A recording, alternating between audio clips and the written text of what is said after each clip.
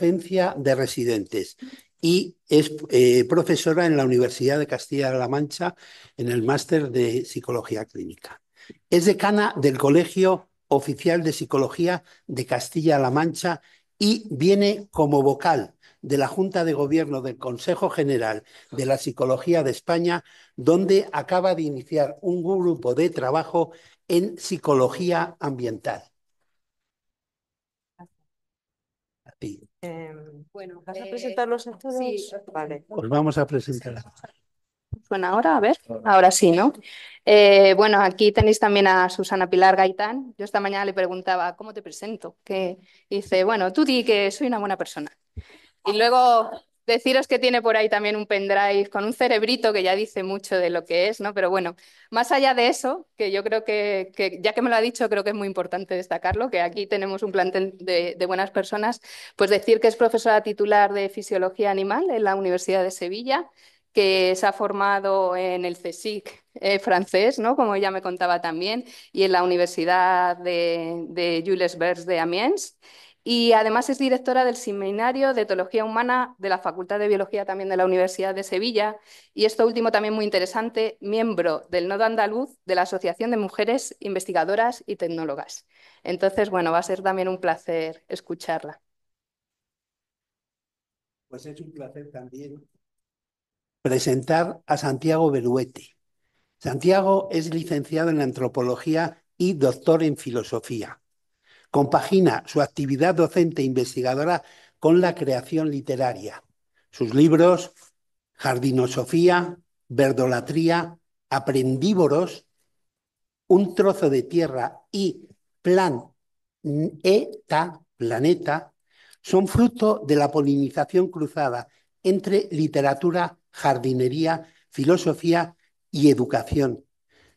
Y seguro que nos va a invitar, como en sus libros, a reflexionar sobre el poder transformador de la naturaleza. Gracias, Santiago. Vale, y esto ahora parece que no va. Entonces, bueno, hacer pues, no sé qué ha pasado.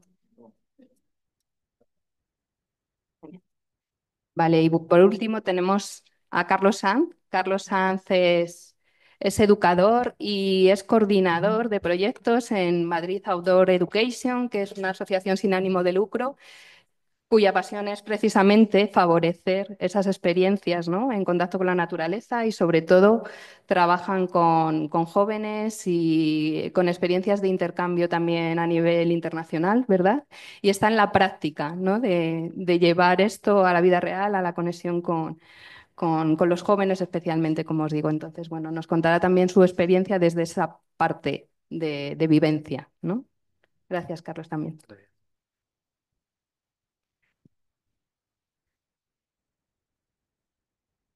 Vale. Ya, ya podéis. Ya, ya,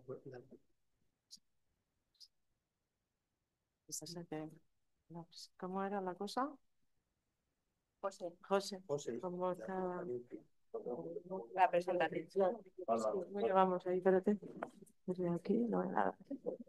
No lo soy.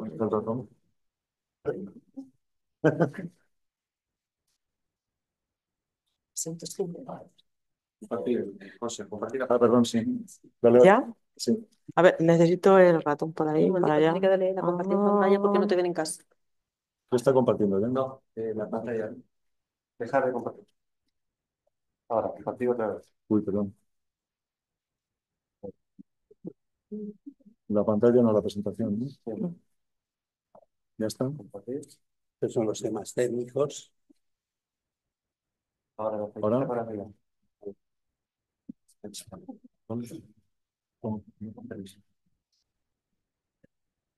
gusta más pasarlo.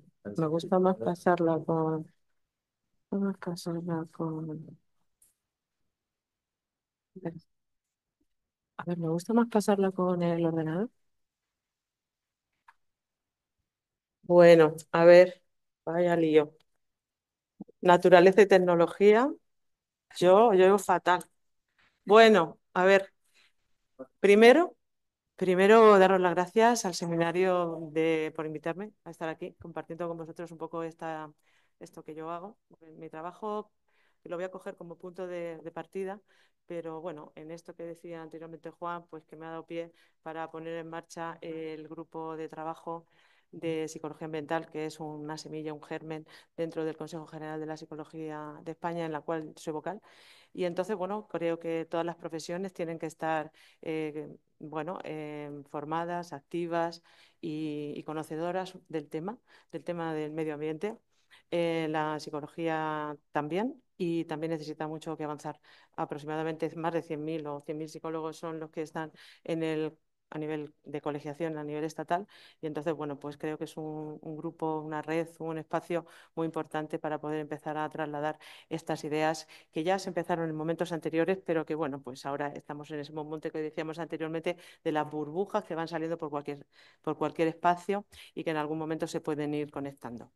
Eh, la intervención, por tanto, hablaré un poco de la intervención psicológica eh, que yo hago, el Consejo General y las acciones en la actualidad. Eh, bueno, yo trabajo aquí, en este hospital, que es un hospital de Albacete, el Hospital Perpetuo Socorro, Albacete hay dos, y eh, dos en general, pero este es donde está salud mental. Trabajo desde el año 1992, ya bastante tiempo, y en salud mental general, pero ahora, desde el año 2000, puse en marcha, junto con un equipo, la unidad de trastornos de la conducta alimentaria, y en esta unidad pues somos un equipo multidisciplinar de hospitalización, hospital de día, consultas externas y trabajamos psicólogos, psiquiatras, eh, endocrinos, nutricionistas, enfermería, profesores y, y, y, y, un equipo muy amplio de profesionales que, que, que trabajamos pues coordinados, eh, lo cual es, es muy enriquecedor. Trabajamos con las familias, con los pacientes, con los grupos y con pacientes que en sí, en sí mismas están muy desconectadas, están muy desconexionadas en su espacio, en su mente, en su cuerpo. O sea, son eh, no solamente que estén desconectadas por su situación en, su patología, sino que están desconectadas en su patología en sí misma, donde el cuerpo va por un lado, las piernas van por otro, quiero decir, el, cuerpo en sí es una desconexión total. Es muy difícil trabajar con estos pacientes, entonces a cabo de un tiempo utilizando, son pacientes que están ingresados, con lo cual tienen un un índice de masa corporal bajo, tienen un cerebro fatal, quiero decir, están desnutridos, no pueden pensar. Por lo tanto, la palabra es muy difícil acceder a, que se pueda hacer una terapia psicológica normal y corriente. Y en un tiempo, en los equipos que trabajamos allí, decidimos empezar a trabajar con la experiencia. ¿No? Es decir, trabajar no solamente con las pacientes cuando ya están capacitadas para poder salir al exterior, porque eso desde luego tiene que haber un momento puntual donde el paciente puede salir al exterior, pero sí que empezamos a pensar que los contextos, tanto el contexto de el hospital como el contexto externos e internos, deberíamos de cambiarlo. Por lo tanto, esta unidad la empezamos a pintar con un proyecto que empezamos a hacer, donde se habló del efecto restaurador también del, del equipo, donde aquí están pro, pintando profesionales, eh, una, una, pintora, y los pacientes, donde se trabajó sobre todo eh, un tema que podía ser un unificador, que era Alicia en el País de las Maravillas, y entonces la unidad, que es un espacio carcelario, un espacio espantoso, que lo viven fatal, podía ser un espacio más positivo y que pudieran estar mejor. Entonces, construyendo entre todos, pintamos la unidad de nuevo e intentamos hacer un espacio muchísimo más acogedor, donde se pudieran sentir más a gusto. Eh, voy a ir muy rápida. Trabajando en el medio ambiente comenzamos un camino y empezamos a salir al exterior. En el exterior hemos visto que, encontrábamos este camino, con, ¿qué hacíamos con las familias, con los pacientes, con los profesionales? Es decir, vamos todos juntos. Eh, esto es una zona de, la, de, Albacete. Albacete no es solo llano, sino que también tiene una zona que es la sierra de, la sierra de Alcaraz y la sierra de Segura. Y ahí es donde está el nacimiento del río Mundo, eh, los chorros y toda esta cuestión, que es una cosa maravillosa. Lo digo para que los conozcáis. Los que no los conozcáis, lo conozcáis. Y entonces, bueno, pues nos la llevamos allí, tenemos un profesor que es magnífico y que además es eh, escala y hace de todo, y ha sido para nosotros una guía fantástica. Aparte de eso, damos publicidad un poco a las actividades que hacemos, sobre todo para ver a los pacientes, eh, conectarlos con la realidad y que las personas también puedan conocer esta patología, que no sea estereotipada y que podamos encontrar los pacientes con trastorno la alimentaria. Además, después de la pandemia, se autolesionan si quieren morir y tienen un 10% de intentos autolíticos y también un 10% de eh, muertes producidas por la desnutrición y trastornos orgánicos. Con lo cual, es una patología muy compleja que afecta multidisciplinarmente el, el sistema del individuo. Esto es el nacimiento del río Tus, que es un, afluente del, mundo, que es afluente a su vez del río Segura. Y bueno, vamos caminando con ellos, vamos trabajando con ellos y además a, su vez estas imágenes os las, las, muestro porque mi interés por generar este, este grupo que he generado ya en un lugar que es más institucional aparece desde aquí. Estas son actividades dentro de Albacete, en el mundo exterior, sobre todo donde las pacientes participan con la comunidad en actividades generales. Eh, aquí tenemos también un grupo de personas que a su vez en estas actividades que nosotros hacemos, eh, que pagamos nosotros también y que pagan los pacientes y pagan las familias y a veces cuando conseguimos pues que nos lo pague el hospital, pues estupendo, paga el autobús, ahí comemos y sacan su comida, que ya sabéis que es muy difícil y que probablemente este tipo de pacientes no ha ido nunca, esta en concreto que, que nosotros con las que trabajamos no han ido nunca, no solamente una actividad de ocio en el medio ambiente ni de contacto con el medio ambiente a nivel de este tipo de lugares, sino ni siquiera con otras actividades externas, lo cual está siempre correlacionado con mayor eh, patología mental. En, el Consejo de la Psicología hay una estructura, el grupo de trabajo es el que yo trabajo y que quiero sobre todo tener estos objetivos, que serían generar un acercamiento en la psicología al medio ambiente, eh, tener un grupo de psicología con ese grupo importante de profesionales que trabajamos ahí y conectarlos un poco con este tema y que la psicología, eh, de alguna manera, el tema del medio ambiente sea un tema transversal, de la misma manera que se ha trabajado con el, con el género y se ha trabajado con la igualdad pudiéramos hacer que esto pudiera ser un tema transversal que atravesara toda la psicología, no solamente toda la psicología, sino todas las profesiones, pero específicamente a la que nosotros nos ocupamos, que también tiene sus resistencias.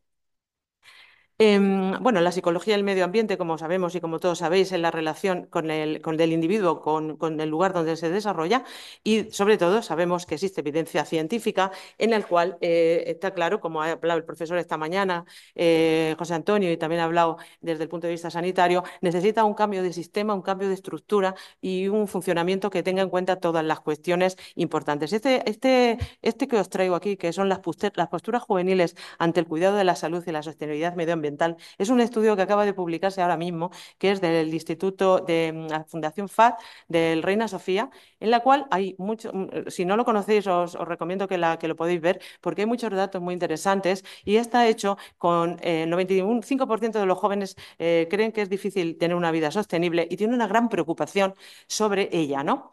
Eh, este estudio es una muestra de 1.216 jóvenes entre 15 y 29 años en toda España y que se ha publicado ahora hace nada y se realizó el 6 de mayo de 2024.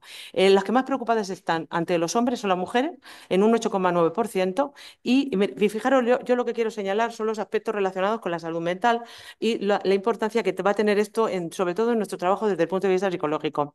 El 26% tiene pena, el 24% expresa tener miedo, el 24% impotencia, el 23% tristeza, el 22% frustración, el 15% rabia, culpa, ansiedad y solo el 9% expresa tener esperanza. Las emociones que esta mañana estamos hablando y, en este sentido las emociones más extendidas en la juventud en este informe eh, está relacionado con los problemas climáticos. El miedo se relaciona con la incertidumbre como variables psicológicas y los posibles desastres naturales y la impotencia se percibe ante la incapacidad de una solución y la imposibilidad de una solución, lo cual puede llevar a los individuos a una parálisis emocional ante la gran magnitud de problemas la mayoría de ellos se ha desafectado mucho de lo que es participar en asociaciones y en grupos eh, que pudieran darles una mm, expresión en acción y creen mucho en que la ciencia va a ayudarles a desarrollar estas cuestiones.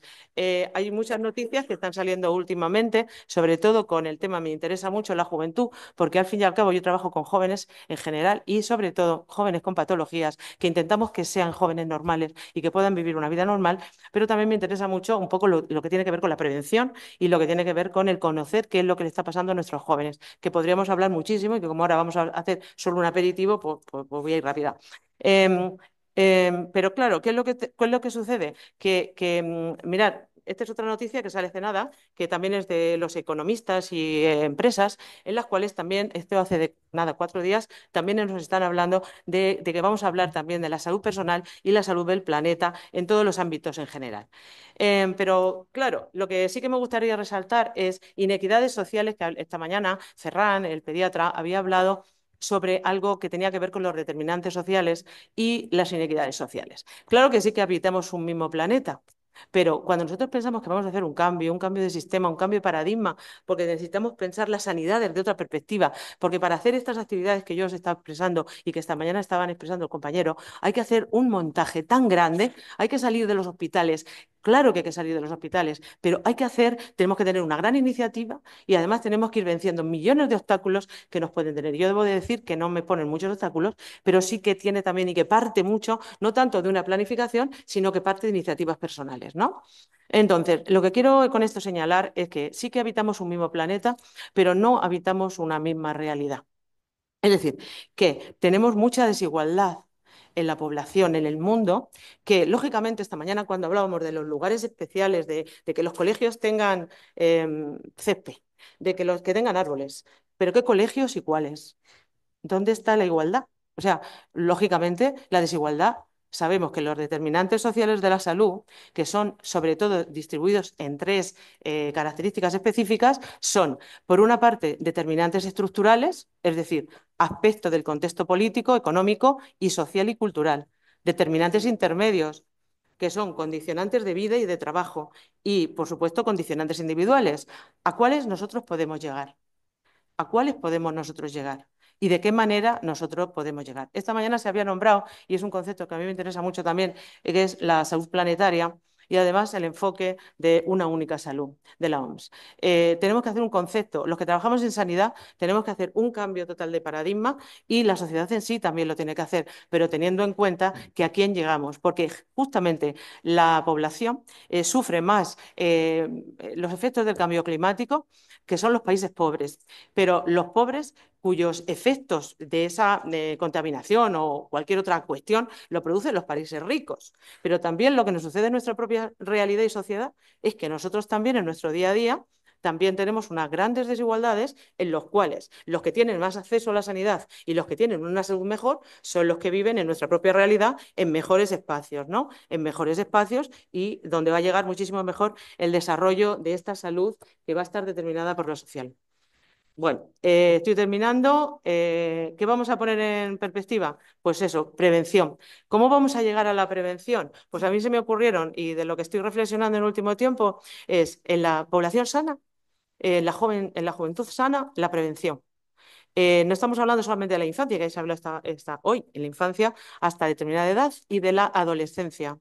Eh, estamos hablando permanentemente de la adolescencia como un espacio en el momento actual, un grupo de población que está sufriendo muchísimos eh, problemas de salud mental. Y lo estamos escuchando permanentemente de dónde vienen y cómo proceden y qué está sucediendo con esos problemas, de dónde están procediendo esos problemas de salud mental de la población. Hoy, mañana, es el día de la pediatría, creo que soy, por si lo comentaba al pediatra, y hay una noticia hoy que dice, eh, pero la noticia a mí me llama la atención porque dice, necesitamos más pediatras, necesitamos más psicólogos infantiles y necesitamos más psiquiatras infantiles. Necesitamos no necesitamos eso, necesitamos un cambio de paradigma que nos permita eh, realmente repensar y trabajar en la prevención, tener la transversalidad como eje fundamental y tener políticas y prácticas clínicas en nuestros sistemas sanitarios que de alguna manera puedan contribuir a generar un efecto em, de expansivo, ¿no? que puedan eh, de alguna manera eh, contaminar ¿no? A los propios profesionales que trabajamos en el mundo sanitario y que también podamos eh, contaminar a los que de alguna manera están con nosotros en nuestras propias profesiones individualmente y, por supuesto, trabajar en un futuro multi e interdisciplinar. Em, aquí tengo muchísimas más cosas. Luego yo esto lo voy a pasar a no sé quién y lo dejamos. Ahora, ahora sí que, la última sí que la voy a poner porque la quiero poner. Entonces, esta es mi perra, eh, Nala, que murió hace, casi voy a llorar, tres meses. Y para que veáis que 15 años que vivió con nosotros y con mi familia ha sido la que nos ha enseñado a pensar muchas cosas que no habíamos pensado antes. Y eh, por aquello de que no entendemos las cosas, es un duelo desautorizado. Porque si yo me pongo a llorar aquí o cuando estoy por ahí cuento algo, todo van a decir, cómprate otro perro, trae un perro, alquílalo, búscalo, cógelo no. Eh, entonces, e, este duelo también está dentro de esta desigualdad en la concepción de lo que es el ser humano y el mundo en el que vivimos. Así que nada, lo dejo ahí porque si no lo digo, mm, es un homenaje.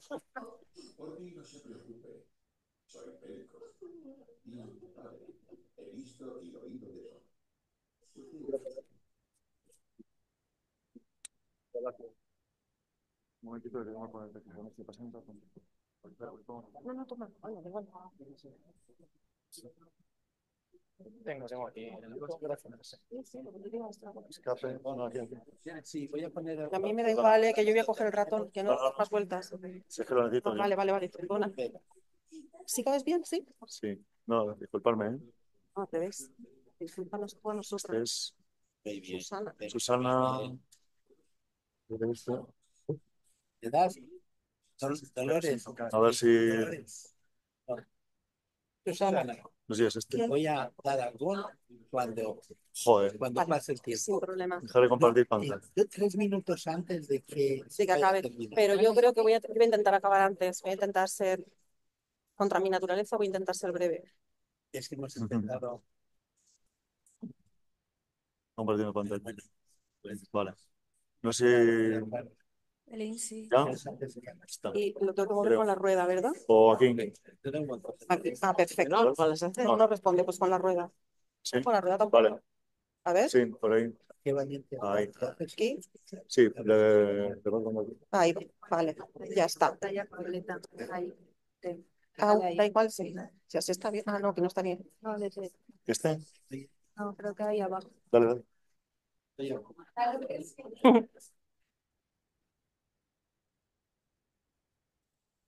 Modo pantalla, ¿no? Modo pantalla. Y, y ahora que le, voy dando con esto, ¿no? Ahí. Hola. Eh, lo primero que quería hacer era dar las gracias por estar en este entorno y, y por alusiones presentar a mi cerebrito, Eh, eh, que además es un regalo de un ex alumno, que quede claro, ya no se jugaba nada con esto. Eh, Y, y dar las gracias porque, porque efectivamente está resultando una, un ejercicio muy grande en mi caso de salir de mi zona de confort un, un ejercicio además muy inspirador y como es muy inspirador, me he ido a, a leer las, las fuentes del conocimiento, al diccionario, a buscar qué significa ser inspirador, que es infundir o hacer nacer en el ánimo o la mente afectos, ideas y designios. Para mí está siendo justamente eso, esto que estoy haciendo hoy, así que me veo en la, en la necesidad de explicar qué hace alguien de fisiología en un entorno como este. Y tengo que decir que humildemente creo que lo que hacemos es explicar las herramientas. Esta mañana alguien decía, pero ¿se sabe por qué funciona? Bueno, pues ya hay bastantes datos de por qué funciona eso en clave adaptativa. Es decir, reconocemos la belleza de una determinada manera porque nuestro cerebro se seleccionó en unas determinadas condiciones ambientales que le resultan favorables reconocemos que funciona mejor hacer las cosas en grupo porque nuestro cerebro pertenece al de unos monos muy, muy emotivos que necesitan a su grupo animal. Y utilizar eso que sabemos es extraordinariamente potente a la hora de, conseguir que cualquiera de las herramientas que se utilicen en cualquiera de los entornos en los que se utilicen, ya sea el hospitalario, ya sea el educativo, funcione. Así que creo que eso es la razón por la que yo estoy aquí. Y ya que hacemos, vamos a buscar razones para que el sistema funcione, me gustaría que miraran esas tres fotografías que son tres clásicos. El de arriba, eh, en este lado, es Pavlov con su perrito, que mm, de nuevo, el- la que alimentaba al perrito de Pavlov era una mujer cuyo nombre es absolutamente desconocido, por lo que sea. Tenía que decirlo. Casualmente, casualmente. El, el otro de, de aquí abajo, el que pone el número dos, es eh, un experimento que le dio el premio Nobel a Candel con una, un bicho bastante poco atractivo. Es una babosa.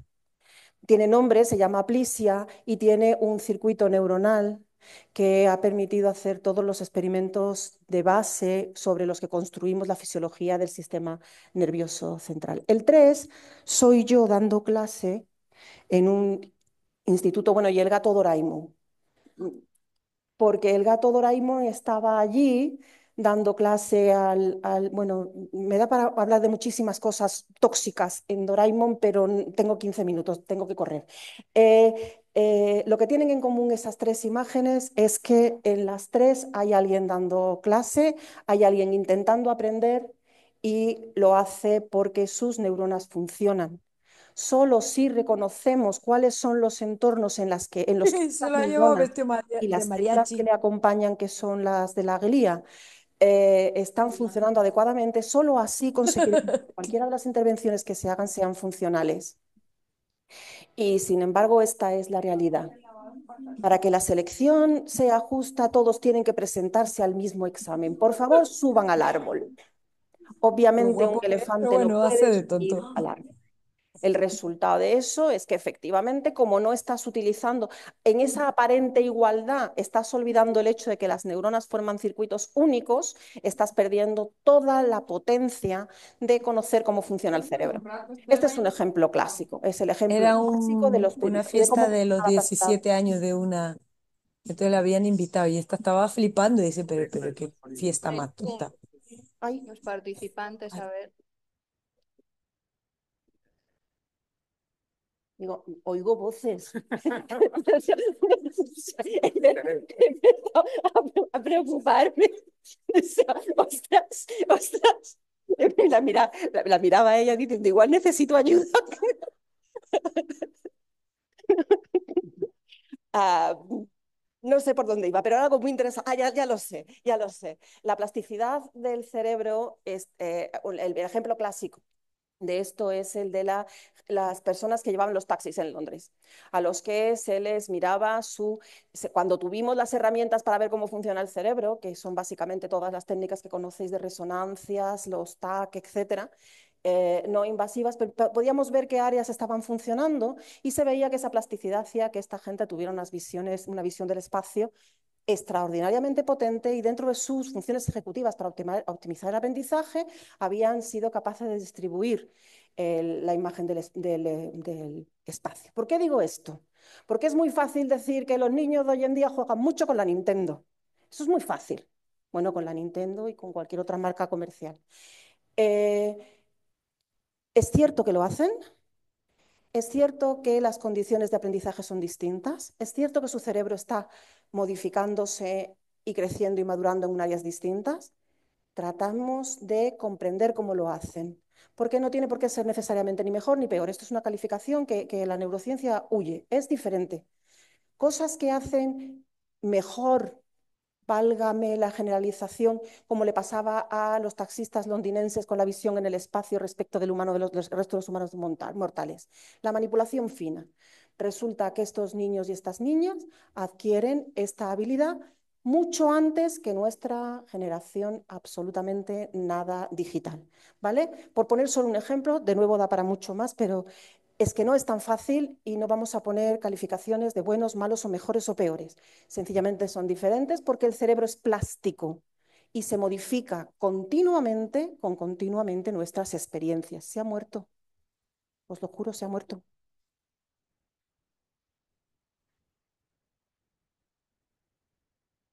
Bueno, pues es igual, sigo. ¿Cuán- ¿Cuánto me queda?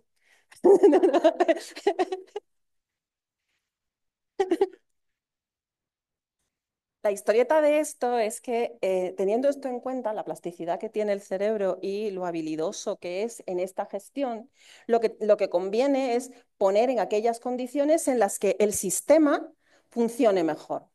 Una característica fundamental de esos monitos es que nuestro cerebro no termina nunca de crecer. El cerebro de otros grupos animales como que fosiliza y ya aprende menos. El nuestro es plástico y le gusta jugar y continúa haciéndolo. Aprovecha eso. Le gusta jugar, aprovecha eso y consigue que esas experiencias sean potentes y hagan crecer a tu cerebro. Te digo que no me quiere de verdad. Vale. Y asumamos cierto nivel de riesgo, ¿vale? El cerebro es capaz de evaluar eso. Hombre, conviene que el cachorro sobreviva a la prueba. Son entornos controlados de riesgo. De nuevo, esto también nos da para otra cosa. Esa es la razón por la que nos gustan las películas de miedo. Nos gustan las películas de miedo porque nuestro cerebro se ha diseñado para estar expuesto al peligro bajo condiciones de control y produce una sustancia en concreto, produce dopamina para recompensar eso. ¿Por qué? Porque estamos aprendiendo para cuando el peligro sea real. Fijaros lo potente que es eso si estamos hablando de actividades que se hacen en el medio ambiente. Eh, en un, un bosque como el que me han llevado esta mañana, gracias Alicia, qué experiencia tan increíble. Estás en un entorno en el que toda tu vida sensorial está siendo activada simultáneamente. Tu cerebro está recibiendo toda esa información. Un cerebro que se ha seleccionado a lo largo de la evolución durante años justo para hacer eso, para estar en un mundo sensible que ver, que oír, que tocar, que dimensionar. Es muy importante tener la sensación. Cuando hacemos eh, los cursos de neuroeducación, nos gusta utilizar este acrónimo que a mí me parece que muestra de qué estoy hablando. Estamos hablando de sonidos que envuelven, que escuchas con cuidado, que esta es la traducción para hacer atención, no basta con oír, hay que escuchar. Notas el ambiente, surge la experiencia, admiras el conjunto. Esta es la equivalente fisiológica del asombro del que hablaban esta mañana, si os fijáis. Concienciado en tu entorno, imaginas una alternativa, observas el resultado. Eso fue muy potente para ese grupo de primates que iba a colonizar la Tierra. Observaba el resultado y veía las posibilidades nombrando el futuro. A mí me ha dejado esta mañana muy, mm, eh, muy reflexionante no, existe reflexionante, aquí no, no. Bueno, pero me entendéis, me entendéis. La idea esta es verdad. Eh, coincidimos en un montón de cosas, lo que pasa es que las llamamos de forma diferente. Cuando trabajamos en, en la evolución del corte frontal, se habla de una especie de lobotomía social de una generación entera. ¿Por qué hablamos de la lobotomía social de una generación entera? Pues porque estamos hablando de una generación que ha perdido el futuro. Es lo que contaban esta mañana. Son gente que ha asumido que no hay posibilidades o que estaban a ser peores que su familia. Eso le quita las expectativas, como no puede hacer planes para el futuro. Y recordad que hemos dicho que nuestro cerebro se había seleccionado haciendo estrategias y prediciendo cosas, directamente se queda, se queda pues con un trastorno de déficit de futuro, decía esta mañana el profesor Corraliza. Total, que por eso es importante hacer neuroeducación mirando cómo funciona el cerebro, porque la plasticidad sináptica nos va a ayudar a aprender más y mejor. Y bueno, nos queda muchísima tarea. Yo eh, siempre pongo un estímulo que sea bonito, me refiero a los monos, a todos ellos. Buenísimo, ¿sí o qué? Bueno, ya está. Eh, gracias, de verdad, gracias a ustedes y gracias a ella.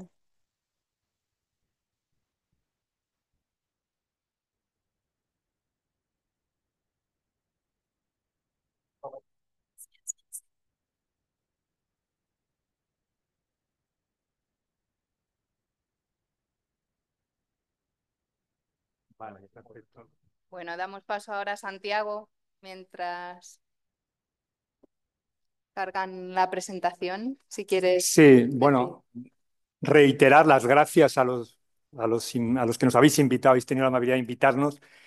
También eh, a los que estáis aquí presentes una tarde de sábado encontráis el momento para, para hablar de estas cosas que son importantes, que a todos nos emocionan y a todos nos, nos motivan. Yo voy a poner solo una imagen, que es esa, que bueno, seguimos que se vea, que es un, eh, un graffiti urbano, una obra del doctor Love, que así se llama este artista urbano, está, este, puede ver en las calles de Boston, y es una metáfora visual para resumir lo que yo quiero hablar. Yo, esta mañana cuando oía a José Antonio Corraliza y oía a Ferran, y ahora cuando oigo a Susana y a, eh, María Dolores, veo que hay unas, unas preocupaciones comunes, ¿no? que a mí son un poco la base de lo que yo, de lo que voy a, contaros, ¿no? que lleva como título Narrar el cambio que necesitamos. Una de las preocupaciones que ha salido esta mañana era el problema de comunicación, cómo comunicamos para una toma de conciencia efectiva. Muchas veces uno tiene la sensación de que hablamos unos lenguajes, unos idiomas tribales y entre nosotros nos entendemos, pero cuando vamos a otra tribu no nos hacemos entender. Yo eh, salto de una tribu en otra, porque yo soy de formación antropólogo, filósofo, pero me dedico a la escritura. Entonces voy de tribu en tribu y veo las dificultades para hacer una traslación, una traducción simultánea, ¿no? que es un poco a lo que a veces tengo la sensación que me dedico. Y después hay un tema que ha estado presente, que tú lo acabas de nombrar, eh, que María Dolores también ha hecho referencia y a la mañana lo han hecho Ferran y, y Corraliza, que es el tema del asombro, el tema de la admiración, el tema de la curiosidad. Estas son las, las emociones filosóficas por excelencia. Nos hemos olvidado, pero es que no es que lo diga yo, es que Aristóteles decía que la filosofía había surgido a partir del estupor, del asombro de los seres humanos ante la naturaleza. Y esto conviene no olvidarlo, porque la filosofía se ha convertido en un saber académico que se ha ido alejando de las emociones primarias y de las emociones que tienen el poder de transformación. ¿no? Entonces, bueno, yo voy a hablaros de esto. Me he molestado en escribir el texto porque eh, tenía preocupación de excederme, lo he ido recortando, he hecho una poda y un poco un trabajo de poetización. De... Entonces, os voy a pedir que me acompañéis en este viaje, hecho así como pequeñas unidades de sentido, y mi voluntad es que eh, transmitir la idea de que si queremos un cambio transformativo, no basta con añadir más evidencias del cambio climático antropogénico, no basta con eh, pulir nuestros argumentos, no basta con hacer campañas, tiene que ser una transformación de un tipo, diríamos, espiritual, ético, si queréis. Y tiene que ver mucho con cambiar nuestra mitopoética, con una tarea que ha sido la tarea por excelencia del arte y en última instancia también de la filosofía. ¿no? no en vano la estética es un campo de estudio de la filosofía. Entonces, bueno, ya me pongo en marcha, ¿no? Narrar el cambio que necesitamos. Nuestra salud física y mental, y esto ha salido continuamente, lo ha empezado antes diciendo María Dolores, es indisociable de la del planeta. El bienestar psicosocial se halla íntimamente relacionado con la calidad ambiental. Nos hemos visto obligados a acuñar nuevos términos, esto han aparecido hoy a lo largo, bueno, también en los talleres, para describir el sufrimiento emocional provocado por la degradación de la biosfera en curso. ¿no? Estoy pensando en términos como nostalgia, o como estrés ambiental, o por supuesto ecoansiedad, etcétera, etcétera. Entre otros, muchos síndromes y traumas asociados a la entropía climática.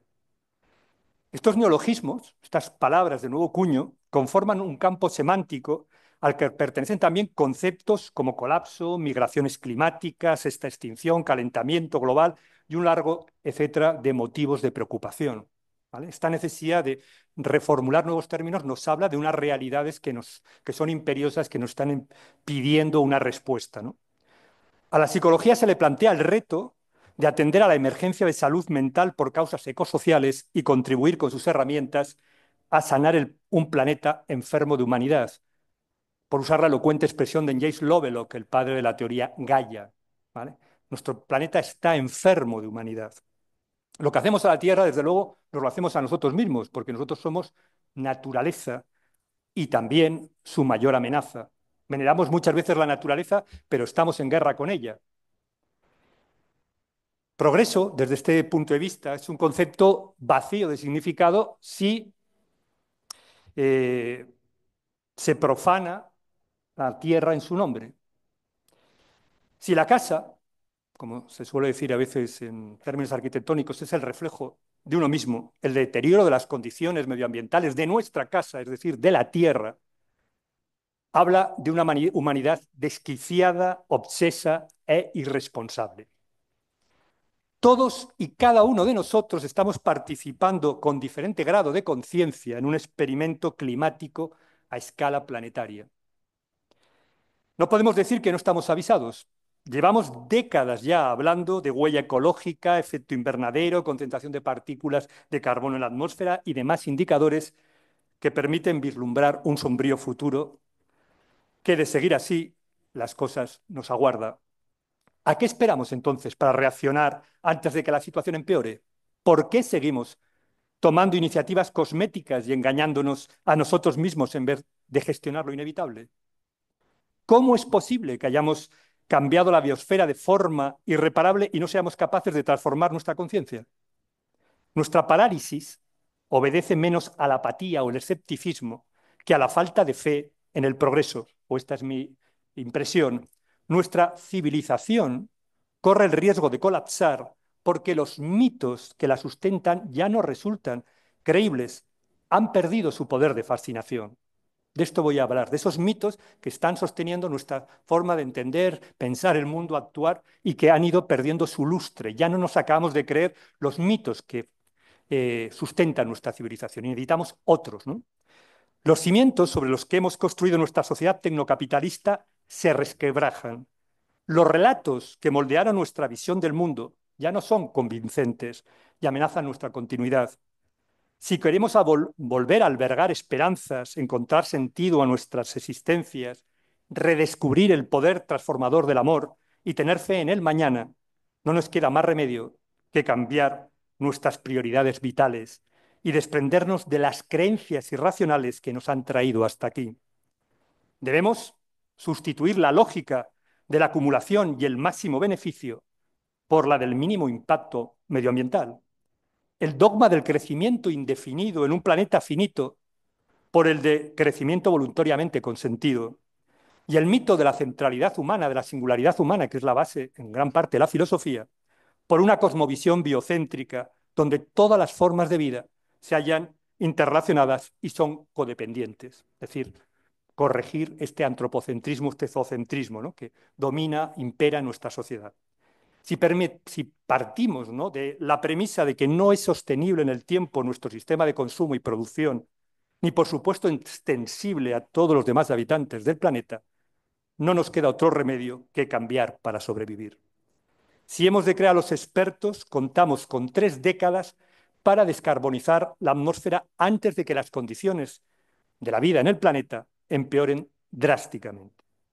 Muchos ecólogos, activistas y pensadores y educadores medioambientales perplejos de las abrumadoras evidencias y los convincentes argumentos del cambio climático antropogénico de causa humana, que no representen que estas eh, pruebas, estas evidencias no representen una razón suficiente para remover nuestras conciencias y modificar nuestro comportamiento, se empeñan en seguir añadiendo más pruebas irrefutables y razones de peso a la espera de que se produzcan los conciudadanos una súbita conversión ecológica. De ahí nace bastante del pesimismo climático, del fatalismo climático. ¿no? Es decir, ¿qué más hay que hacer para que la gente despierte?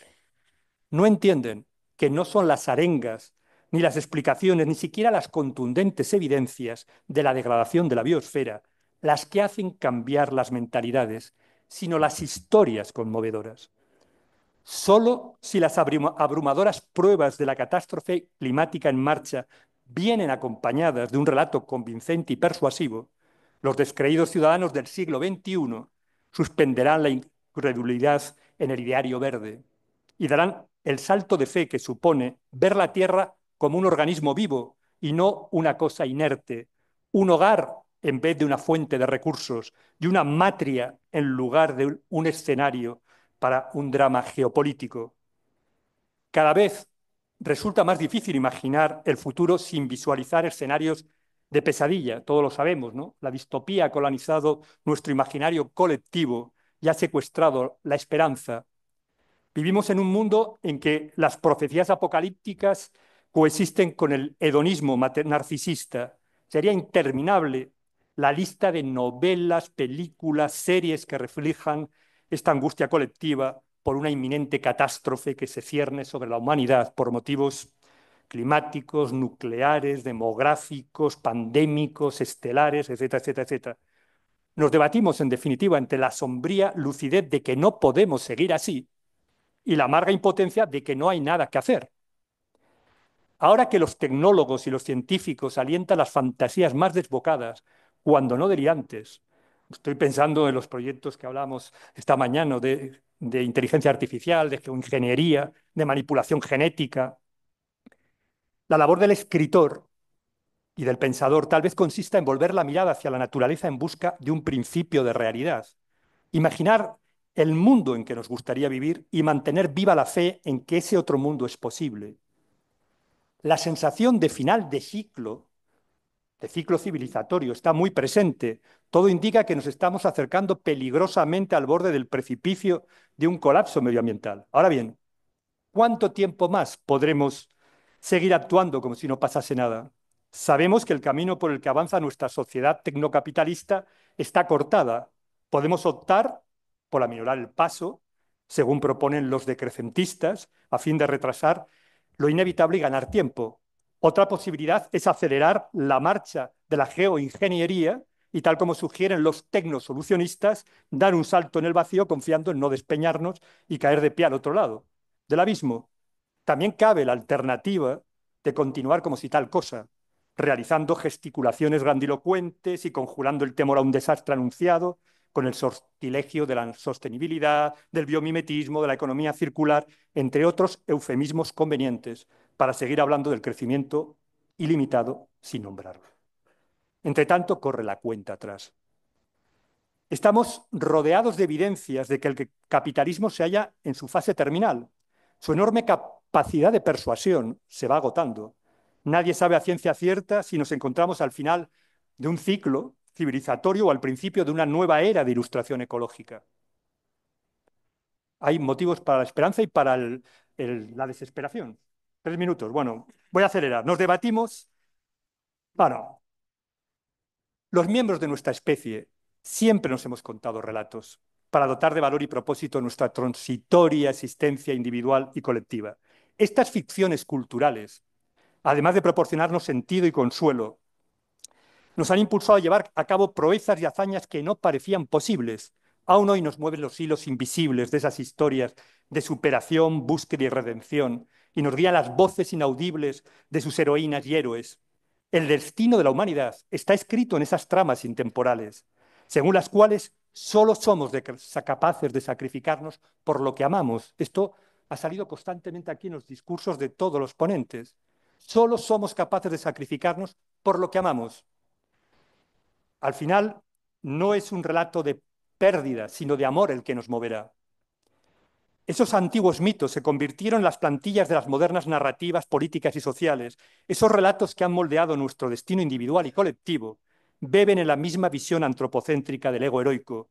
Sus historias de muerte simbólica y renacer metafórico, de sacrificio y redención, ya no nos sirven para llegar a donde queremos. La única manera de seguir aferrándonos a la creencia de que podemos cambiar el mundo es forjar una nueva mitopoética que dé otro sentido a nuestra presencia en este planeta, nos muestre otra manera de habitar la Tierra y relacionarlos con sus otros moradores. Nuestra sociedad, y aquí voy a acabar, ¿vale? Nuestra sociedad necesita contarse un relato diferente al de la acumulación de la riqueza y el consumismo individualista, que nos permita seguir creyendo en la perfectibilidad social y nos anime a sacrificarnos en aras de alcanzar un estado duradero de justicia y razón, por muy abrumadoras y convincentes que sean las evidencias del cambio climático. El activismo ecosocial jamás logrará sus metas si no toca la fibra moral de los ciudadanos y no consigue conmoverles con una épica persuasiva que movilice las fuerzas luminosas del eros y el altruismo.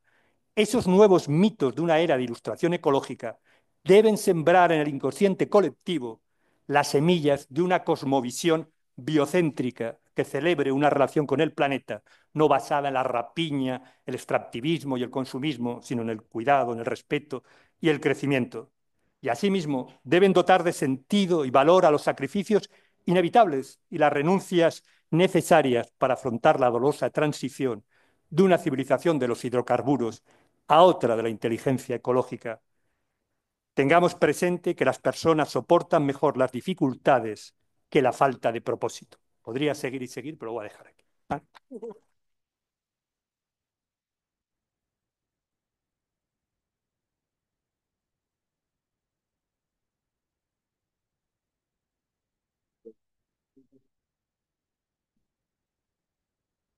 Bueno, ahora Carlos Sanz nos hablará sobre desconexión, jóvenes y salud mental.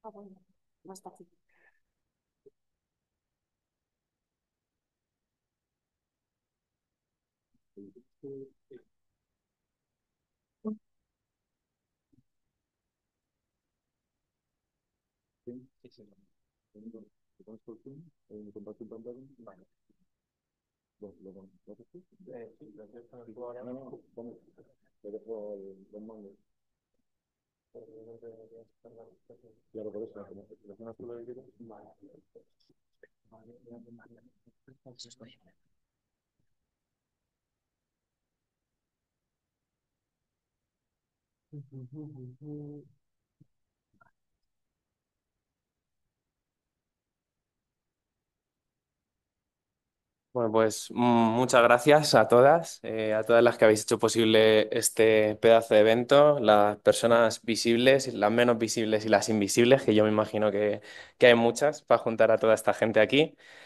Dar también las gracias a, a todas las ponentes, porque me ayudan mucho a mí ahora a tener más perspectiva de todo lo que os voy a intentar contar. Y luego dar también especial agradecimientos a, todo el equipo de la asociación, que sin ellas, pues todo esto que os voy a contar no, no ocurriría y tampoco tendría mucho sentido. Entonces, yo vengo a contaros eh, una experiencia concreta, que es la Asociación Madrid Outdoor Education, que es la asociación en la que participo. Eh, esta asociación es una asociación sin ánimo de lucro que nace en 2018 y pues nace con la intención de intentar ofrecer eh, pues experiencias educativas eh, diferentes, ¿no? Nace desde en gran parte desde la frustración, desde la rabia y bueno, pues también con, con mi intervención hoy me gustaría pues, poder transmitir un poco de, de lo que estábamos hablando, ¿no? De, de esperanza eh, de ganas de transformar esa, esa, rabia, ese miedo, todas esas emociones que compartían, que compartían las compañeras y sobre todo a, a decir que, que, no nos vamos a quedar de brazos cruzados. Entonces, que tenemos ganas de, de cambiar las cosas y, y, que es una que creo que es una pulsión muy fuerte en la mayoría de los jóvenes de, de hoy en día. Entonces, bueno, pues la asociación, como os digo, pues, pues surge en 2018 desde todas estas, estas emociones y, y, con la esperanza y la ilusión de, de, poder hacer las cosas de forma diferente. Eh, ¿Quiénes somos? Somos un, un grupo de, de jóvenes eh, que lidera una asociación para jóvenes, eh, pero con una visión bastante holística, porque nosotros entendemos la juventud como los jóvenes, pero también como sus familias, los educadores que interactúan con, estos, con estas jóvenes y también sus comunidades. Entonces, desde, desde ese punto, nosotros lo que utilizamos es la metodología del aprendizaje experiencial en la naturaleza, que es una metodología, pues bueno, los que habéis estado hoy en el taller de, aprendizaje fluido, pues es, son el primo hermano de, del aprendizaje fluido. Y, bueno, pues se basa mucho en, partir desde una experiencia propia para luego a través de, de reflexiones y de un diálogo eh, elaborar los conocimientos. Entonces, pues yo os quería contar eh, también un proyecto, un proyecto en concreto que, llevamos haciendo varios años, que es un proyecto que se llama Disconnect, es un proyecto que, trata de, trabajar eh, la salud mental. Eh, también es importante para mí eh, decir que una de las lecciones que nosotros hacemos a la hora de desarrollar estos proyectos es que queremos que sean accesibles a todas las jóvenes. Entonces eso supone, por un lado, un gran esfuerzo para formarnos, para poder ofrecer espacios que sean accesibles a nivel físico para las personas, porque pues, requiere también pues, una formación con diferentes medios, pues tanto para personas que puedan tener una discapacidad visual o que puedan tener una discapacidad motora o incluso para personas con, con una discapacidad mental, con las que también trabajamos. Y luego una parte muy importante que es que son gratuitas. Nosotros hacemos todas nuestras actividades de forma gratuita con el objetivo de que cualquier persona pueda participar en ellas.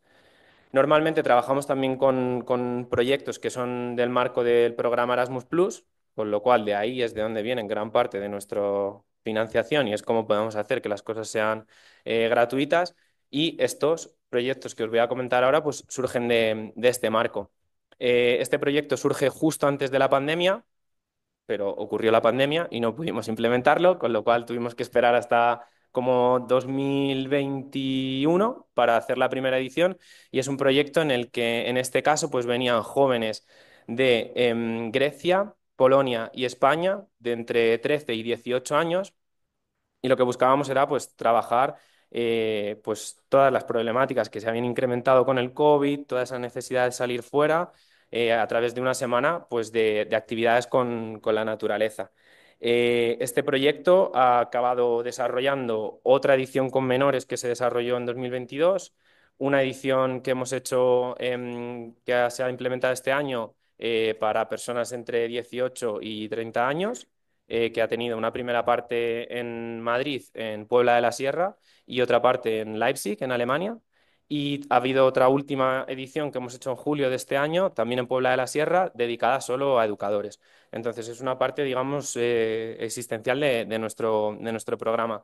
Y bueno, quería compartir con vosotras diferentes ideas que intentamos transmitir en estos, en estos proyectos y que creo que son una nebulosa de un montón de cosas que han ido sonando y que creo que pueden ser, pueden ser interesantes. Entonces, me gustaría primero eh, compartir con vosotras que una de las partes más interesantes, en, mi opinión, del aprendizaje experiencial es una cosa que, yo llamo como anarquía práctica, y es que es un poco búscate la vida, lo que significa. Eh, entonces, ahí en nuestros proyectos, eh, las personas normalmente van a tener que acampar, van a tener que cocinar por ellas mismas, van a tener que convivir durante varios días con personas que hablan diferentes lenguas, y entonces nosotros hacemos un papel de facilitadores en el que vamos acompañando todo ese proceso, pero son estas personas las que tienen que ir, buscando un poco sus herramientas para solucionar sus problemas. Entonces me gustaría poder compartir también con vosotras un vídeo para que podáis ver un poco lo que os estoy contando.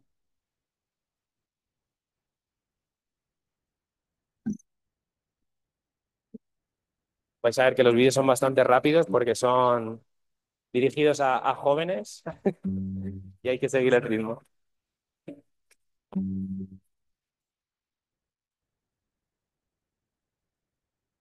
Rapidísimo, lo sé. Tenemos más, no os preocupéis. Sí, son modo TikTok, pero...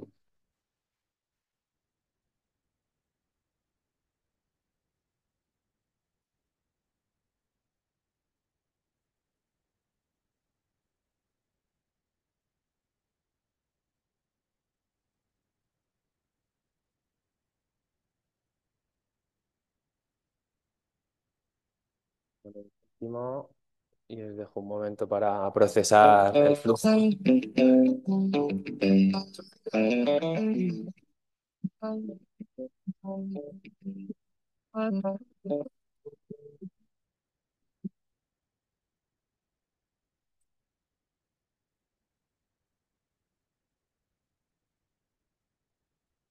Bueno, aquí habéis visto unas cuantas cosas que creo que son, son interesantes. Voy a dejar aquí con esta foto de momento.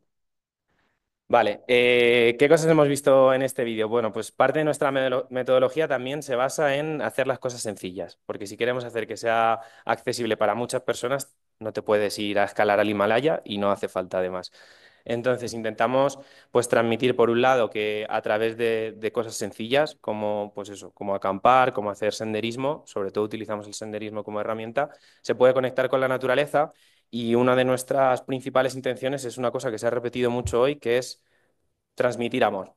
Es utilizar todas esas emociones que, decíamos, ¿no? que tienen todos los jóvenes, que estamos súper frustrados con el universo y darles la vuelta para hacer algo con ello y no quedarnos simplemente ahí rumeando.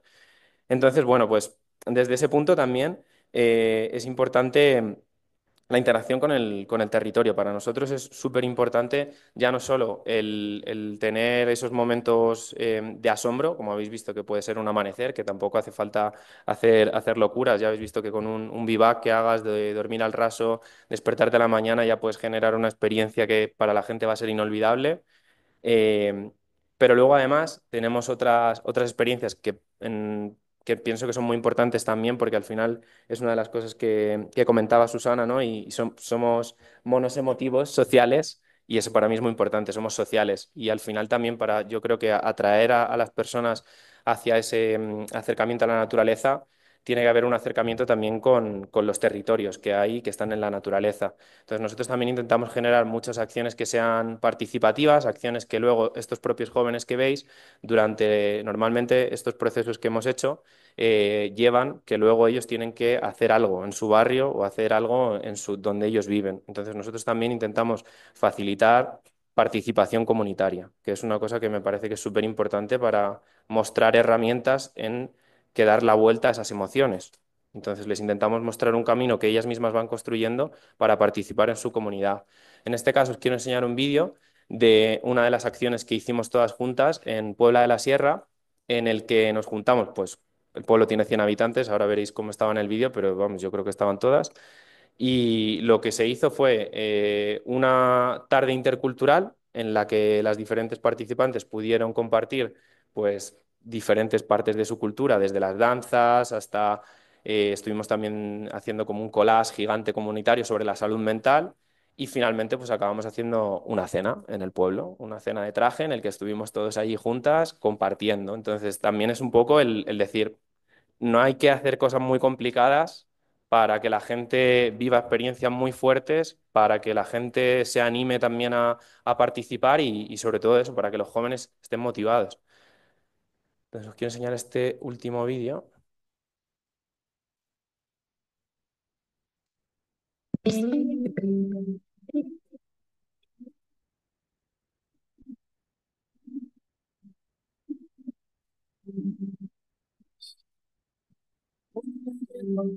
la treparemos. Un pared y la tumbaremos.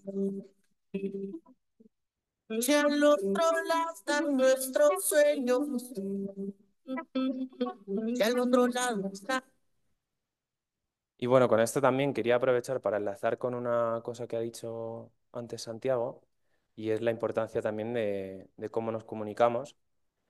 Y a mí me hace también mucha curiosidad el eso, entender cómo un grupo de, en este caso, chicos de Portugal, chicas de eh, Grecia y España se pueden comunicar de forma fluida. Y un- para mí la respuesta es que la naturaleza no necesita palabras. Y entonces me parece que es una cosa bastante interesante y que se ve muy claro en, en todos los grupos en los que trabajamos, que se producen de por sí, las convivencias son muy fuertes, una experiencia que también esto es algo importante de la metodología, ¿no? El, el, vale, el saber que, voy terminando, que no es lo mismo y también animo a la gente que, que estáis desarrollando proyectos, no es lo mismo hacer una acción de un día que desarrollar acciones de, de más días, sobre todo porque la naturaleza requiere tiempo también, tiene sus, sus espacios y sus tiempos y es necesario también meterte en ellos, interactuar con ellos y exponerte a, a un contacto continuo para que esto te pueda tener un efecto mucho mayor, ¿no? Y mm, poco más, por ir cerrando, eh, simplemente pues eh, una parte también que creo que es esencial en todas estas actividades es el contraste entre los espacios naturales y los espacios, espacios naturales urbanos y los espacios naturales salvajes y una, es una de las partes de nuestra metodología también que intentamos acompañar. Intentamos hacer unas actividades en las que sí, pasamos cinco días en la naturaleza, pero luego nos vamos al barrio y estamos otros dos días o tres días. Intentamos acompañar ese, ese proceso y que las jóvenes también vean cómo estaban comportándose en la montaña, cómo se comportan en la ciudad y no dejarlas solas en una burbuja de esto ha sido maravilloso y ahora te vas a tu casa y te explota la cabeza. Entonces, eso me parece que es, que es muy importante. Es súper importante que intentéis ofrecer, si queréis seguir haciendo lo que hacéis, espacios de calidad para participar, que dejéis a la gente que se equivoque, que dejéis a la gente que, que tome sus propias decisiones, que dejéis a las jóvenes que tengan ese momento de, de aprender de verdad. Y ya para terminar, quiero terminar con una frase, bueno, con una canción de unos punkis de hace unos años, que son los Sex Pistols, que decían que, que no hay futuro. Y yo lo que quiero decir es que el futuro lo construimos nosotras.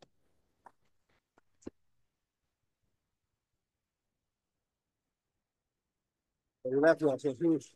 Muchas gracias. Y a toda la mesa.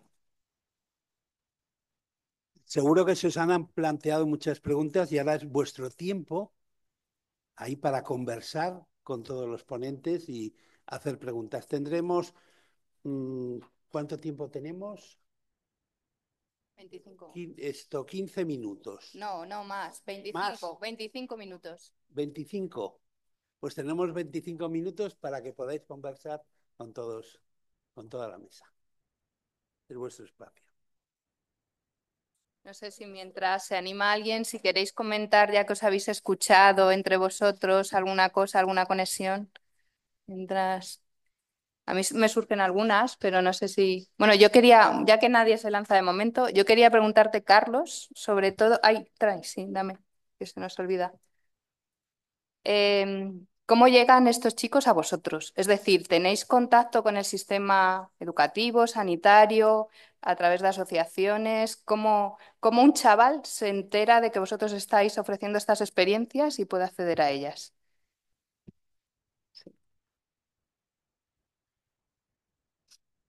Bueno, pues yo creo que la principal eh, herramienta son las redes.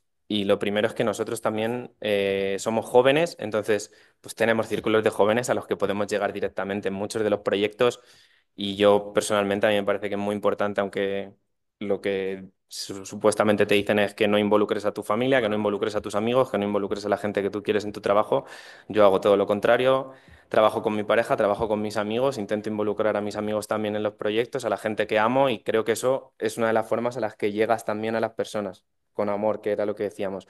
Otra forma es esto, activando redes que te permitan llegar a más gente. Nosotras afortunadamente somos muy inquietas y pues movemos a través de grupos de WhatsApp. Tenemos un grupo de más de mil personas de toda España que se mueven pues eh, con estos proyectos Erasmus Plus porque también es una oportunidad muy fuerte.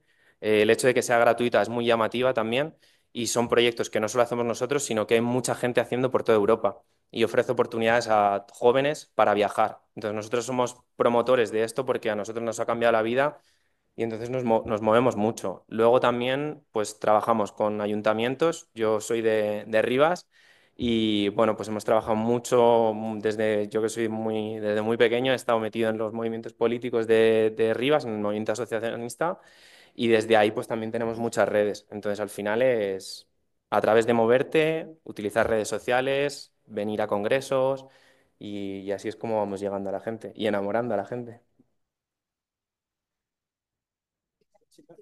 Quería hacerte una pregunta. A mí me, me ha gustado mucho, pues he empezado hablando de la frustración, de la rabia, del cabreo generacional Ujú. y cómo eso se convierte en un motor de cambio, ¿no? Cómo se convierte en un, en un acicate, en un carburante para transformar, ¿no? Que muchas veces desde mi generación se, se habla de que los jóvenes están paralizados, que son, les falta inquietud. ¿Cómo se hace eso? ¿Cómo se hace esa metamorfosis de la rabia, de la mala leche en algo productivo, algo creativo?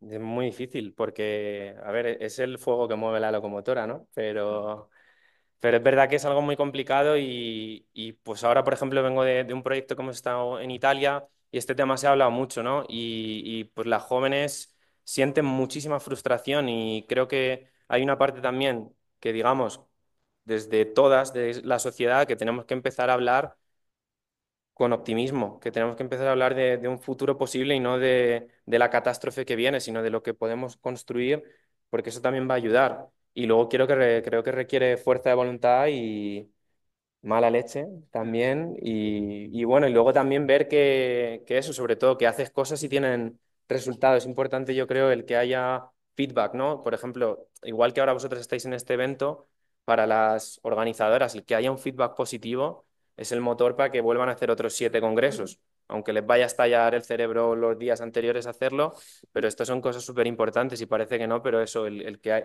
otras personas te digan, ¿cómo mola esto que hacéis? Qué guay, eso también es lo que te ayuda a seguir.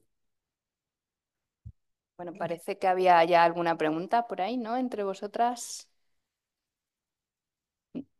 ¿No?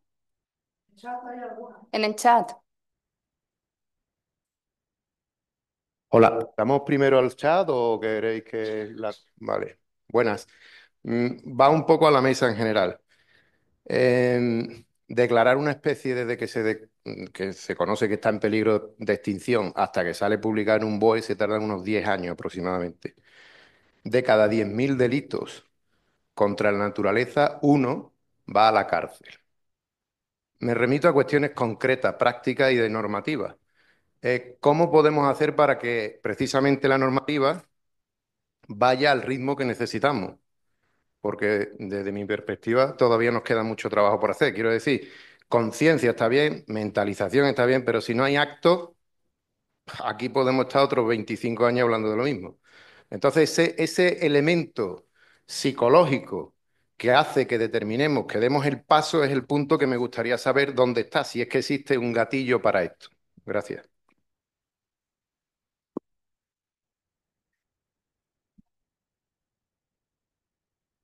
No, eso está un poco relacionado con la pregunta, lo que dice Galán, que nos hace Janet Val un poco en, en el chat también. Entonces, bueno, ¿cómo hacemos, no? Estos cambios. Yo creo que una, una de las, de las respuestas es, uy, perdón, sí. Una de las respuestas está en el relato, en la potencia del relato. Creo que es lo que ha contado, ha contado el compañero hace un momento y, y me parece muy importante además eh, hilarlo a lo que has comentado tú. Por muy chungo que sea la época chunga que nos ha tocado vivir, no puede ser más chunga que la época que le tocó vivir a Rita Levi Montalcini, mm, Levi y Montalcini, en la Italia de Mussolini no es un buen momento, ciertamente, para hacer lo que hizo esa mujer, que fue revolucionar la neurociencia mundial. Porque siguió investigando, siguió creyendo. Igual eso es lo que tenemos que hacer, empezar a potenciar el relato de gente que sola y con la ayuda de su entorno puede cambiar el mundo, empezar a creernos eso y transmitir el relato. Creo que eso es muy importante. Que eso se termine traduciendo en el BOE o en directivas europeas, pues depende de lo pesado, pesadas que lleguemos a ser, pero si no hacemos por quedarnos con el relato, serán otras las ideologías que se hacen con el relato, porque lo vuelven atractivo y se terminan sentando en el Parlamento y creo que en este momento todos tenemos, todas tenemos la imagen de a lo que me refiero. Sí, yo lo único que añadiría... La pinza.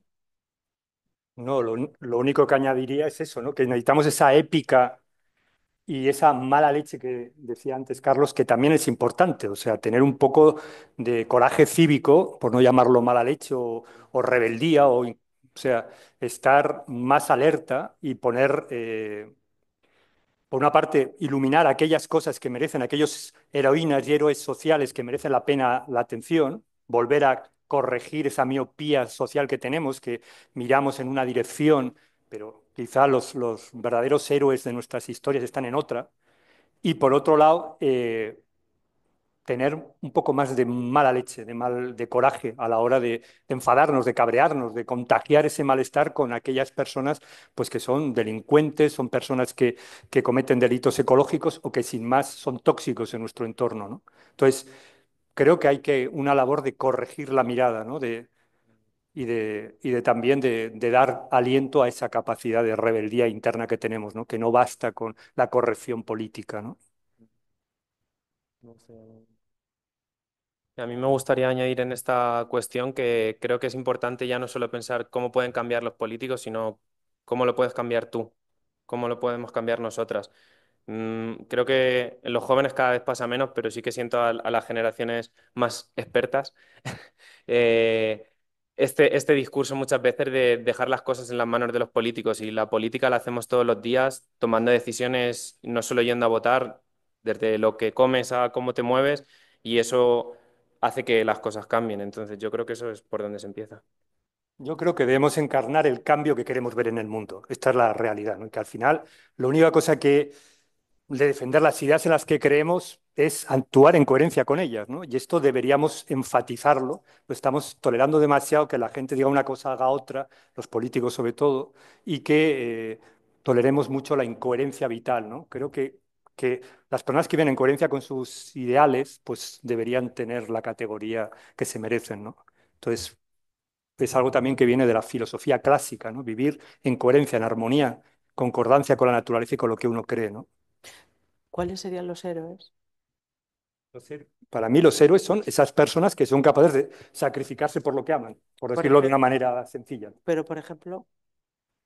Pues muy, mira, aquí han salido bastantes casos de, de, desde asociaciones, personas que están, como tú mismo has estado hablando, ¿no? que son capaces de hacer cosas por transformar este mundo y por hacerlo mejor, ¿no? Por ajardinar su rincón del mundo, ¿no? Entonces, uh -huh. a veces creemos que hay que hacer grandes transformaciones, pero hay que empezar claro. por lo que tenemos al costado, ¿no? A mí, a mí un poco lo que me llamaba la atención, que era ese informe que, que acaban de hacer de los jóvenes, que no sé, a mí me preocupaba mucho la, el 9% que siente desesperanza, es solo esperanza, ¿no? El 9% siente esperanza. El, aproximadamente entre el 30% o en, en, general siente todas esas emociones negativas que tenemos que transformar en positivas. A mí me gusta vuestro proyecto en el sentido de que es la población normal, ¿no? Son gente normal, jóvenes normales, ¿no? Eh, quizá a lo mejor nosotros también a nivel de salud mental realmente, que claro, enfermedad mental sería en ese caso, eh, sentimos un poco un cambio bastante importante y sobre todo con una serie de, de patologías mm, y de con- desconexiones totales con su propia vida, ¿no? Y entonces está también muy relacionado, independientemente que haya un cambio de aprendizaje, cambio solo, pero sí que realmente hay un cambio de aprendizaje que tiene unas repercusiones en la conducta de los jóvenes. Y entonces estamos encontrándonos en la clínica muchísima patología eh, grave, ¿no? Es decir, eh, jóvenes que se autolesionan, jóvenes que se quieren morir y que llegan a las consultas que no quieren vivir. Y, entonces nosotros, claro que con nuestra historia es hacerles que la rabia, que no es solo la rabia, No. sino que es la rabia contra uno mismo y contra el mundo, se transforme en cosa positiva. O sea, eso es ya mm, tremendo, ¿no? Entonces, yo, yo, nosotros trabajamos con ilusión, pero no con, digamos, con mucha ilusión, pero con, con no ingenuidad, porque es complicado. Entonces, yo creo que eso es muy importante, saber que estamos inmersos en un contexto muy complejo y que, y que es magnífico todas las historias que hemos hecho aquí, pero que también tienen una dificultad enorme de la puesta en práctica. La, la conciencia y el cambio de conducta es un cambio más complicado y el cambio legislativo yo creo que se ya ni te cuento, pero eh, realmente es verdad que, que como si tardamos tanto en legislar y, ta- y tanto, tanto tardamos en cambiar, que tú también lo has dicho, ¿no? O sea, tardamos tanto en cambiar. Vamos por detrás de los hechos. nosotros somos héroes, un pequeño de pequeñines, esos, esos pequeñicos que andamos por ahí, ¿no? Mirad. No sé, supongo que tenga una repercusión en la vida, pero a veces mm, esta- es lo que decían estos jóvenes, de, del- de los 1.200 y pico jóvenes entrevistados, que creen que ellos ya no pueden hacer nada. Hay una pregunta del, hay una pregunta del chat por aquí que dice que si el cerebro, eh, nuestro, para la, que si quizá nuestro cerebro no está diseñado para establecer estrategias mm, a largo plazo para generaciones futuras. No, Es justo al revés. El, el cerebro humano eh, tiene una capacidad más que potente de hacer, de hacer planes. Yo, yo no soy tan, tan negativa ni tan fatalista con la época que nos ha tocado vivir. Hay estudios, me sale el adjetivo demoledor, pero no demoledor en el sentido de mm, destructivo, sino demoledor a la hora de acabar con los mitos de el aumento brutal de los problemas de salud mental en, la segunda década del, del siglo XXI. Pues denle una vuelta a los trabajos de las... es- ¿Por, por qué florecen las escuelas de psicología en el periodo de entreguerras? Pues porque Europa vivió un momento social, digamos que complicado, y eso generó que se empezase a diagnosticar, que no quiere decir que la gente en el antiguo Egipto no tuviera desajustes, eh, es que no se diagnosticaba. Cuando se intenta explorar es cuando tienes las herramientas para ver lo que pasa. En, e- en ese paradigma de trabajo que es el mío y porque me sirve, está la historieta de la ventaja adaptativa que supone para la especie humana, para el Homo sapiens y, si me permiten, la Mulier sapiens también, que íbamos en el lote. Pues es que teníamos esa capacidad de diseño a largo plazo. Desde la choza a la Catedral de Burgos ha habido una innovación de los circuitos celulares que están básicamente en esa especie de deseo incomprensible para un bonobo de mm, dejarlo a las siguientes generaciones. La chimpancé transmite cultura eh, porque en, las familias de chimpancés ya hay mm, eh, uso de herramientas y se enseñan unas a unas, digo unas porque suelen ser las hembras las que hacen la transmisión de la... Es muy bonito además porque eso da para otra cosa, pero eh, es, es excepcional que haya hembras no fértiles eh, que continúen vivas. Los grupos que tenemos menopausias, las orcas y nosotras, tenemos una capacidad intrínseca de transmitir cultura y de enseñar a las que vienen detrás. Pues el paso siguiente, justo el paso siguiente es hacer planes a largo plazo. Así que no, es al revés, nuestro cerebro está diseñado para tener capacidad. Y lo, lo dramático, y esto sí creo que es original de nuestra generación, es que nos hemos empeñado en cortarle las expectativas a la generación que va detrás, decirle que está muy duro, que no sé, y, y lo han interiorizado. Y ahí es donde entráis el, el recu- recuperar el relato y decir, ¿cómo que eh, el futuro es tuyo, hermano? Hermana, pa'lante con todo y rediseñalo, y rediseñalo. Y eso es política y es tener acceso a la vivienda y al trabajo y ¿Hay alguna pregunta por ahí? Ah, em, perdón, pero ah. Sino es simplemente una reflexión porque a mí me tocó trabajar en prevención de suicidio, entonces esto me emociona mucho y pienso como en cómo cambiar y creo que es como no tirarles la pelota, ¿no? A que las infancias sean infancias, que las adolescencias sean adolescencias y que nosotros como adultos seamos adultos conscientes y coherentes. Entonces, que si les exigimos para que, ¿no? Eh, veámosle que eh, esa exigencia que va a tener un buen resultado, que hay un futuro, que hay una... Porque siento en estos mensajes, no es como cuando, pienso como cuando un médico te da un diagnóstico, ¿no? Siento que en la comunicación parece que es como un diagnóstico de una enfermedad terminal. Y es como si lo tiran y es como que hacen con eso, ¿no? Entonces es como, en- pienso en eso, ¿no? Aprovechando que están estos, que son ustedes los expertos, como en nuestra responsabilidad, ¿no? Y no una mochila de, le estás quitando el planeta a la tortuga a un niño de cinco años. Es como, para mí es muy fuerte. ¿Quién quiere responder de manera breve? Que Bueno, luego tenemos desde el otra punto de vista, desde el punto de vista psicológico sí que hay siempre esperanza, ¿no? Los más esperanzados somos los que trabajamos en, en este mundo de salud mental, eh, enfermedad mental, más bien, porque creo que salud mental también es una especie de negación de que existe la enfermedad mental. Porque claro, yo nunca he oído aquello de eh, salud cardiológica, salud neumológica o salud oncológica. He oído eh, solo salud mental, porque de alguna manera sigue existiendo un estereotipo y una poca aceptación de que tenemos eh, sufrimiento y malestar, y que el sufrimiento y el malestar es lo que nos produce también el cambio en general en la vida, ¿no? Pero ese cambio hay que transformarlo. Y, y yo, yo, yo personalmente, yo no lo sé los demás, pero nosotros encontramos muchas dificultades en la, en la nueva etapa tecnológica y la unión entre lo tecnológico con lo natural, con la naturaleza, ¿no? Es decir, vamos a ver, después de la pandemia, lo que sí que es verdad, independientemente de que los medios de comunicación, esto es que tengo que decir algo, hayan dicho y sigan diciendo, yo soy la primera que digo que es barbaridad, ¿no? Eh, todo el santo rato con la salud mental, pam, pam, pam, todo el tiempo, pero sí que es verdad que ha habido un aumento exponencial del sufrimiento en la población joven. Y eso es una realidad.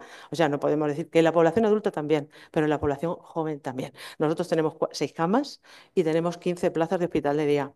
Y nosotros hemos estado al 240%. Menos mal que ahora, y ahí donde está un poco la esperanza, estamos en un porcentaje mucho menor de ingresos y hospitalizaciones. Luego, si esa gente necesitaba ingresos y hospitalizaciones y tiene 15 años y tiene 11 y 10, que nos han llegado de 10 años, eh, la patología, el sufrimiento, el intento autolítico. Yo tengo una nena que tiene 11 años y tiene 67 intentos autolíticos. 67. Entonces, estamos trabajando en red y trabajamos en todos los sistemas, con todos los sistemas, para sacar a la vida a esa criatura. Y creo que lo vamos a lograr. Yo siempre soy una utópica y además sé que sí. Pero lo que quiero decir que es un trabajo, digo, que tardaremos un tiempo tardaremos un tiempo, de- de- deben dejarnos un tiempo, porque las cosas no se hacen en un día. Entonces, los cambios que decías, los cambios psicológicos, dicen, no son más largos ni más grandes que los cambios de traumatología cuando alguien tiene que empezar a andar. Son cambios y los cambios son un proceso y el proceso lleva un tiempo. Y entonces, quiero decir, todos juntos haremos ese proceso. El suicidio, sí que hay muchísima cosa ahora mismo sobre la prevención del suicidio eh, que si foros, que si... eh, Es decir, es un problema importante porque ha aumentado muchísimo. La pregunta es ¿por qué? Vamos a profundizar un poco en eso, pero sí que es verdad que Internet tiene el Internet profundo con eh, cómo matarme. O sea, y todas las pacientes vienen que han leído en algún momento cómo me voy a matar. Yo lo que me pregunto muchas veces como psicóloga, digo, a ver, ¿cómo yo puedo? La, la, la cuestión es, ¿cómo yo puedo superar a Internet? Yo, yo entonces digo, ¿quién es el héroe? ¿Yo o Internet. Es decir, si yo tengo que intentar ver cómo me lo cargo, o sea, o cómo lo utilizo, pero de alguna manera tengo que entrar en otra dinámica, porque si alguien está diciendo córtate las venas eh, y cuando sale de la consulta dice la, la voy a estar de la psicóloga, ha dicho que no sé qué, y me está diciendo la otra de mi edad, córtate las venas, ¿a quién le hago caso? Entonces nosotros luchamos contra eso y lo tenemos en una realidad dire- directa. O sea, es que es directo. Entonces, no es ni pesimismo, no es ni fatalismo, es realidad.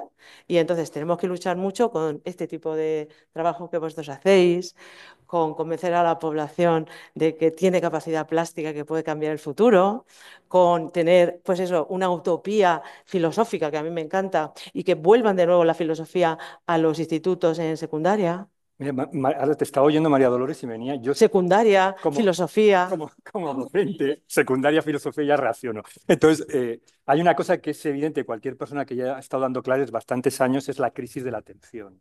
O sea, yo Sí. empecé mi, vida como profesor y no existía, no existía ni eh, el síndrome de déficit de atención y he- estoy ahora mismo, hay un 25, un 30% de chicos diagnosticados y lo que es peor, medicados. ¿vale? Esto a mí me lleva a pensar, tengo esta deriva filosófica en algo que estás tú diciendo, Susana. ¿Cuáles son las causas del malestar psicológico? Evidentemente, la desconexión con las fuentes verdaderas de gozo y de placer, y una es la naturaleza.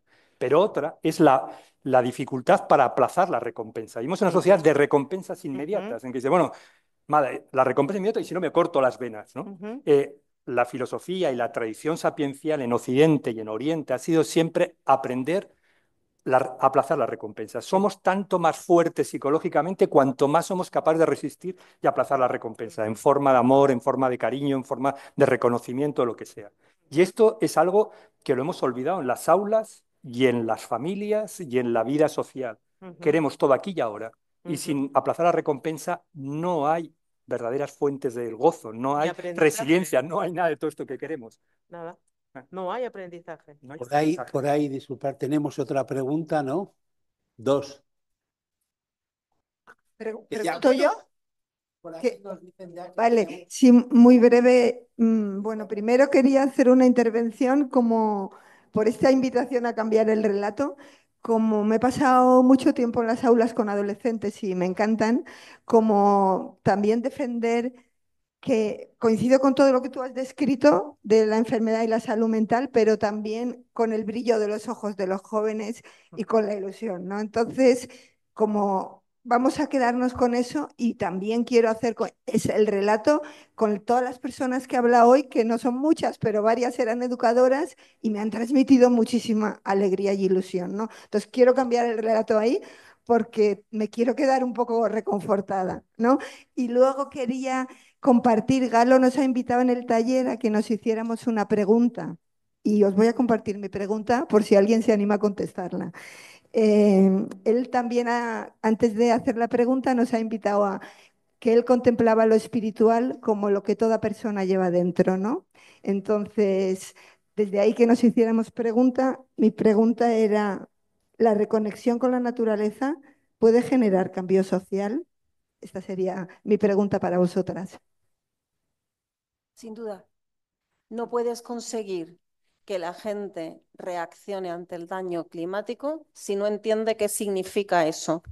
Eh, en la incomprensible para mí realidad de que hay que decirle a la gente que la Tierra no es plana y el cambio climático se está produciendo, que parece, que parece como increíble, la piedra clave es comprender cómo funciona la naturaleza, relacionarse con ella y solo si la conoces y tu hipocampo, tu memoria, hace ese trabajo de comprender que somos naturaleza, porque al fin de cuentas somos un mono o mona más, vas a empezar a defenderla.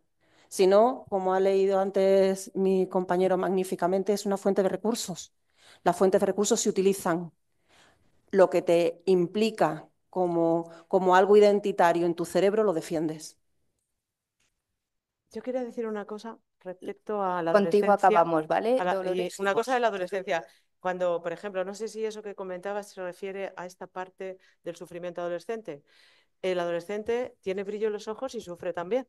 O sea, es la unión. O sea, el adolescente es eso, ¿no? Entonces nosotros también, los que trabajamos en, en enfermedad mental, eh, vemos que hay sufrimiento y, que tenemos que ir descubriendo detrás de la máscara del sufrimiento eh, que también tienen brillo, ¿no? Pero, pero a veces esa máscara, ese es el trabajo, ¿no? Quitarla para que, porque mira, a lo mejor hay 1% de la clase que tiene un problema. A lo mejor tenemos a 30 chiquillos y de pronto hay uno o dos que a lo mejor empiezan a ir a consultar con alguno de nosotros, ¿no? Entonces hay 30 que están fan- fantásticos, pero hay uno que está sufriendo, ¿no? Entonces qu- quiero decir que lo que hacemos es eh, ser fantásticos porque todo el mundo está casi feliz, pero el que sufre, sufre mucho.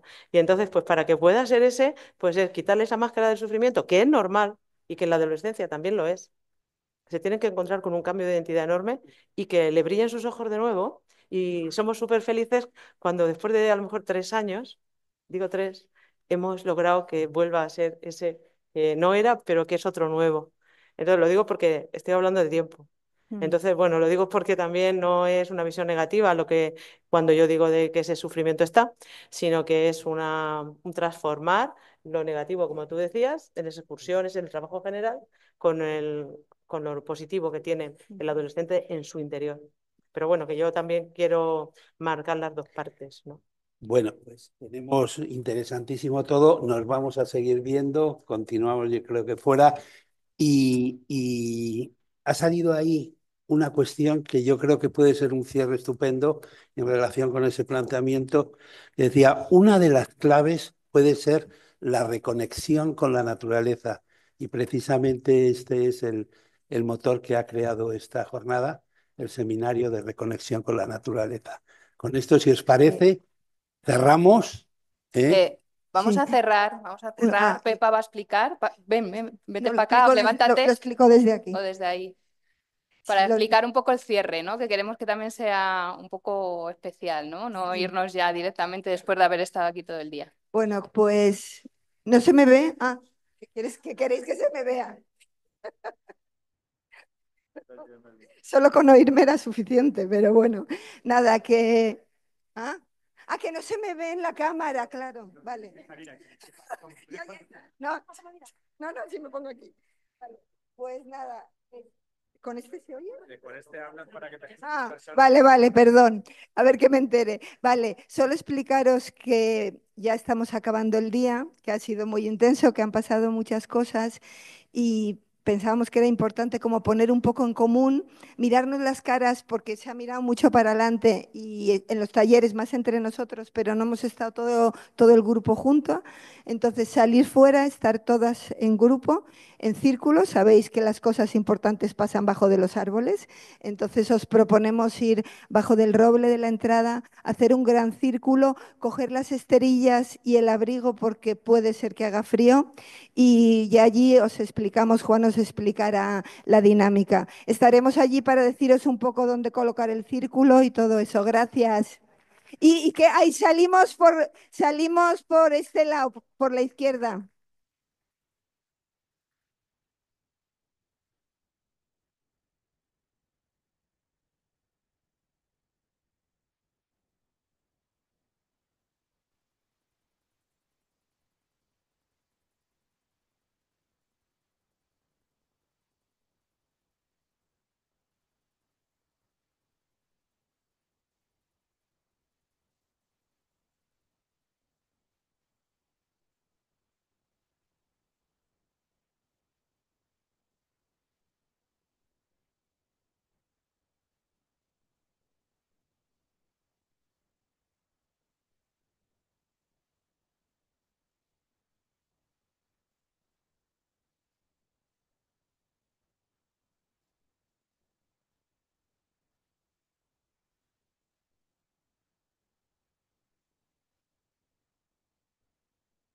Hola, hola.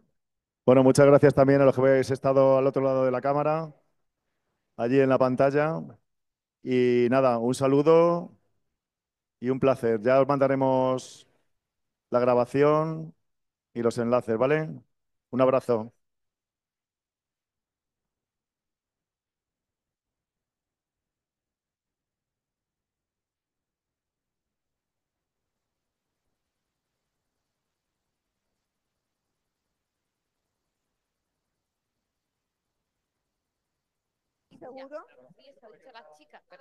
Déjame que vea la pantalla, por favor.